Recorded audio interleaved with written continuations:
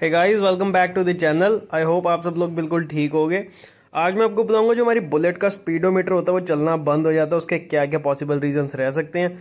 सबसे पहली चीज़, हमारे जो लॉय व्हील्स लगे होते हैं, उसके साथ में एक डब्बी लगी होती है, जो स्पीडोमीटर को चलाती है, आगे कमांड देती है। और स्पीडोमीटर में एक वायर कनेक्ट होती है, वाली डिब्बी से, जिससे हमारा ये जो पूरे का पूरा मीटर है, वो चलता है। स्पीड बढ़ती है ओडोमीटर काम करता है हमारा। सो so, इसकी पहले मैं आपको प्लेसमेंट दिखा देता हूँ एक वायर साइड से देख सकते हैं। अब ये सीधी हमारे नीचे अलॉय व्हील पे जा रही है। अलॉय व्हील के यहाँ पे एक ब्लैक कलर की आप बॉक्स देख सकते हैं जिसको हम बेसिकली कहते हैं स्पीडोमीटर वाली डिब्बी। ये वायर हमारी ऊपर सीधी हमारी मीटर में जा रही है। सो so, ये वाली जो हमारी वायर है यहाँ पे हल्का सा एक स्क्रू लगा होता है ऐसे कसी होती है। इसको आप घर पर ही चेंज कर सकते हैं कोई बड़ा टास्क नहीं है। सो हम रॉयल एनफील्ड की ओरिजिनल लेके आए हैं डिब्बी। ओरिजिनल हमें टू हंड्रेड टेन रुपीज़ की मिली है लोकल हंड्रेड रुपीज़ की थी। रिकमेंड नहीं होता लोकल लगानी। यहाँ पे हमारी वायर लग जाएगी, वो जो स्पीडोमीटर से आ रही है, और ये नीचे डिब्बी लगानी कैसे, वो मैं आपको दिखाता हूँ। सिंपल है। पहले आप एक बार ये डिब्बी देख सकते हैं। ओरिजिनल डिब्बी है। इसके बीच में आप ये देख सकते हैं, यहाँ पे गरारी कह सकते हैं, एक तरह के गेयर कह सकते हैं गेयर्स बने हुए हैं। ये पार्ट नंबर वगैरह मैं आपको दिखा देता हूँ। M R P two thirty है। रॉयल एनफील्ड के शोरूम से ले गए हम ये वाली डिब्बी। ऑनलाइन लिंक्स अगर ये चीज़ अवेलेबल हुई, मैं आपको बता दूँगा। कुछ ऐसे को लगती है। सो सबसे पहले हम चेक करेंगे, हमारा कहीं वायर तो नहीं ख़राब स्पीडोमीटर में? सबसे पहली चीज़ हमारी वो रहती है। मेरे को तो पता है, हमारा ये वाला डब्बी ख़राब है। बट जब भी आपका मीटर बंद हो, ये वाली जो वायर आप देख सकते हैं, जो मैं अभी खोल रहा हूँ, इसको एंटी क्लॉकवाइज घुमाना आपने खोल जाएगी। पहले वाली वायर खोल के हमने चेक करनी है। कहीं ये तो नहीं ख़राब हमारी। ये जो वायर है, एक बार खोल जाए इसके अंदर।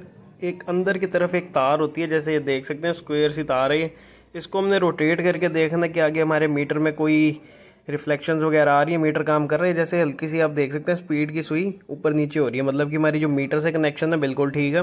हमारा स्पीडोमीटर भी ठीक है और जो ये वायर है, वो भी ठीक है। हमारे जो बॉक्स है, यही ख़राब है। अगर आपका ये वर्क ना कर रहा हो वायर से तो इसका मतलब वायर ख़राब है। ये जो इसका बॉक्स है डिस्को डिब्बी कहते हैं, ये आराम से वायर इसमें जाती है और जैसे जैसे रिम घूमता है अंदर वो गेयर्स को घुमाता है, जिससे ये तार घूमती है और ऊपर हमारा निडल स्पीड शो करती है। सो इसको खोलने के लिए साइड से सबसे पहले बड़े वाला जो बोल्ट है हमारा, इसको ओपन करना होता है। अगर एक बुलेट ओनर है तो कुछ कुछ टूल्स जो हमें ज़रूरी होते हैं, जो हमें चाहिए होते हैं, घर पे जो मेंटेनेंस के लिए हमें हमारे पास होने चाहिए, वो मैं लिंक प्रोवाइड कर दूँगा नीचे। वहाँ से जाके आप एक बार रेफरेंस ले सकते हैं कि ये ये टूल्स हमें चाहिए होते हैं, और जो आपके पास नहीं है, वो आप अपनी किसी हार्डवेयर की शॉप से जाके ले सकते हैं। सो so, एक हमारा वोला बोल्ट खुलता है और ये नीचे वाली तरफ़ भी हमारे जो बोल्ट्स होते हैं ये भी लूज़ होते हैं ताकि जो हमारा व्हील है वो बाहर आ सके। ये वाला बॉक्स जो है इसको चेंज करने के लिए हमारा व्हील बाहर आता है। उस तरफ़ से हमने थोड़ा सा फोर्स लगाना है एक हैमर की हेल्प लेके जिससे ये वाली हमारी रॉड जो है बाहर आ जाएगी। उसके बाद अलॉय व्हील जो है हमारा भी नहीं निकलेगा। उस साइड पे डिस्क होएगी हमारी। जो डिस्क है उसके भी हमें बोर्ड्स लूज़ करने पड़ेंगे डिस्क भी हटानी पड़ेगी। डिस्क हटाना कोई बड़ा टास्क नहीं है। बिल्कुल simple easy coupler to coupler जैसे कनेक्शन होते हैं, वैसे बोल्ट टू बोल्ट हमारे फिटिंग है इसमें। ऑलरेडी मैंने कुछ इसकी अपडेशन की वीडियोस डाल दी हैं लाइट अपग्रेड वगैरह की, वो आप चेक कर सकते हैं जाके। एक मैं प्लेलिस्ट बना दूँगा, उसको आप एक्सेस कर लेना, जिससे कि आपको लेटेस्ट नोटिफिकेशंस मिलती रहे सारी। एक बारी मेरी ये डिस्क निकल जाए, इसके बाद मैं आपको आगे प्रोसेस दिखाता हूँ। ये हमारी पुरानी डिब्बी है, ये भी हमारी ओरिजिनल डिब्बी थी। कुछ इस जगह पे ये लगती है। इसके जो गेयर्स हैं बिल्कुल ख़राब हो चुके हैं, जैसे देख सकते हैं आप। और ये हमारी जो ब्रांड न्यू वाली डिब्बी है, इसको देख सकते हैं। दोनों में डिफरेंस आप देख ही सकते हैं। इसके अंदर एक वार्शल होती है ये। ये इसके अंदर हमारा एक बुश लगता है। बुश कैसे लगा मैं दिखाता हूँ। पहले हम एक बारी फिटिंग देख लेंगे।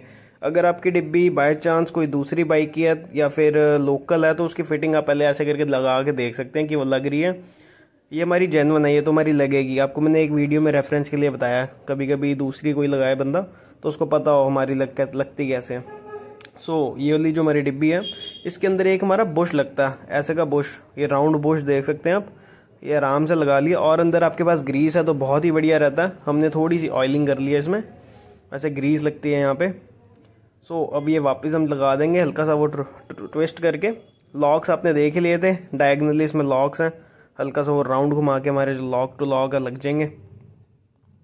ये प्रॉपरली हमारी अभी फिटिंग बैठ जाएगी। वायर हम बाद में लगाएँगे। पहले पूरा हम नीचे टाइट कर लेंगे, फिर वायर लगाएँगे। उसके बाद एक बार ये आपके लॉक्स बैठ जाएँ। जो हमने एक रॉड निकाली थी, जो मेन टायर को रोकते हैं, वो वाली रॉड हमने वापस लगानी है। अलॉय व्हील हल्का सा उठाया हुआ है हमने, और ये जो रॉड है धीरे धीरे करके हम वापसी लगा लेंगे अपनी जगह पे।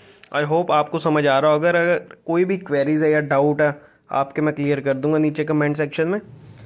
बस अब सिंपल इसकी फिटिंग बिठानी है आपने कि वो जो पीछे रॉड है, वो रॉड वहाँ से डाल के हमारी यहाँ से बाहर आ जाए। एक बार उसकी उस फिटिंग मिल जाएगी, वो प्रॉपरली अंदर चली जाती है सीधी सीधी ये यहाँ से इसका बाहर आ गया। अब हम बोल्ट जो है, इसका बोल्ट टाइट कर देंगे। और जो हमारी हमने डिस्क निकाली थी, वो डिस्क वापसी लगा देंगे। डिस्क को भी आप वो तरीका देख ही सकते हैं, आराम से लग जाती है। हल्की सी इसकी सेटिंग बिठाई और ये जो ऊपर के हमारे दो बोल्ट्स निकाले थे, हमने वापसी एग्जैक्टली लगा देने हैं। बस दो बोल्ट्स खोल के हमारे डिस्क बार आ गई थी, एक मेन बोल्ट खोल के हमारा व्हील बार आ गया था और जो नीचे से हमने दो दो बोल्ट लूज़ किए थे, एक शॉक करके दोनों साइड से। जो वेस्ट दिल्ली में रहते हैं, मैं उनको शॉप बता देता हूँ, मैं कहाँ से कर रहा हूँ। आउटर रिंग रोड के पास एक एरिया था चाँद नगर वहाँ पे इनकी पूरी शॉप है अंकल की, ये पीछे शॉप देख ही सकते हैं। ये हमारी जो हमारी सब्ज़ी मंडी है छोटी सब्ज़ी मंडी के नाम से मशहूर उसके बिल्कुल ऑपोजिट बैठते हैं। यहाँ इनके पास 72 मॉडल स्टैंडर्ड भी है ये स्टोर होने वहाँ सामने गुरुद्वारा आप देख सकते हैं। एकदम आप रेफरेंस ले सकते हैं किसी से पूछ भी सकते हैं कि बुलेट कहाँ ठीक होती है चांदनगर में वो इनका रेफरेंस दे देंगे आपको कोई भी। सो so, एक बारी हमारी डिब्बी लग जाए उसके बाद ये हम वायर लगा लेंगे। वायर लगानी है जैसे अगर आपकी सिर्फ़ वायर ख़राब है तो सिंपल आपकी वायर टू वायर चेंज हो जाएगी। उसकी भी मैं वीडियो बना दूँगा अगर आप चाहते हैं तो। वैसे ये जो बॉक्स है, ये हमारा चेंज हो गया। अब ये बस हमने मीटर की जो वायर है टाइट कर लेनी है। और इसका जो आउटपुट है रिस्पॉन्स है, वो मैं आपको दिखाता हूँ अभी। एक चीज़ का बहुत ज़्यादा ध्यान रखना कि इसके जो शॉकर के नीचे वाले हमारे जो बोल्ट्स रहते हैं, वो भूल जाते हैं हमारे टाइट करने। वो टाइट करने ना भूलना। ये नीचे की साइड हमारी दोनों तरफ़ होते हैं बोल्ट्स दोनों तरफ़ हमने लूज़ किए होते हैं, दोनों तरफ़ हम टाइट कर लेंगे। प्रॉपर हमारा जो बॉक्स है न्यू लग चुका है स्पीडोमीटर का। सारे के सारे बोल्ट्स एक बारी चेक कर लेंगे, बिल्कुल हमारे टाइट हो गए उसके बाद एक बारी चला के देखते हैं, हमारा मीटर चल रहा है। अभी हमने हल्का सा टायर ऊपर करके घुमा के देखा कि ये चल रहा कि नहीं चल रहा। अब इसका रोड पे आपको मैं रिस्पॉन्स दिखाता हूँ।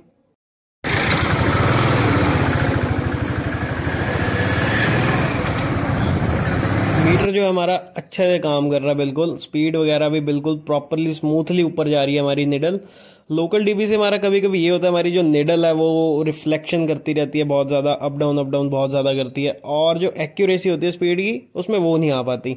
सो so गाइज़ अगर ये वीडियो में कुछ भी बढ़िया लगा आपको तो कमेंट बॉक्स में ज़रूर बता के जाना मुझे। नहीं भी अच्छा लगा तो भी बता के जाना। और चैनल सब्सक्राइब ज़रूर कर देना अगर अच्छी लगी है वीडियो सो so, और ऐसा कंटेंट जानने के लिए मुझे इंस्टाग्राम पे भी फॉलो कीजिए. Thank you guys for watching meter एक क्वेरी आप रिस्पॉन्स देख ही लो दोबारा से.